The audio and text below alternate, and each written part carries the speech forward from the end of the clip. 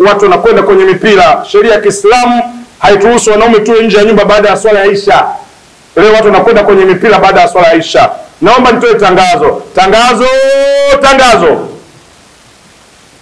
Ewe mke uliyeolewa, ukiona mmeo anaenda kwenye mpira baada ya swala ya Isha, freedom without restriction is marvelous. Uhuru bila mipaka ni fujo. Hakuna sheria inakuruhusu mwanamume uchukue sheria mikononi uende nje ya nyumba yako baada ya swala ya Isha. Dharura zinazokubalika kama vile za kiuchumi, unapaki gari saa nne, unachoma chips saa tano na narudi, sawa, lakini mpira sio dharura. Kwa hiyo mkiona mme anakwenda kwenye mpira, huyo sio anakwenda kwenye mpira, huyo inawezekana anakwenda kwa mawaa zake. Haya ndio maneno yamekamilika. Ukikasirika ukisema anasemaje maneno hayo, ndiyo nani, who allowed you to do that? Nani aliyekuhusu wewe? Umeingia kwenye ndoa hii, serikali na utaratibu wake.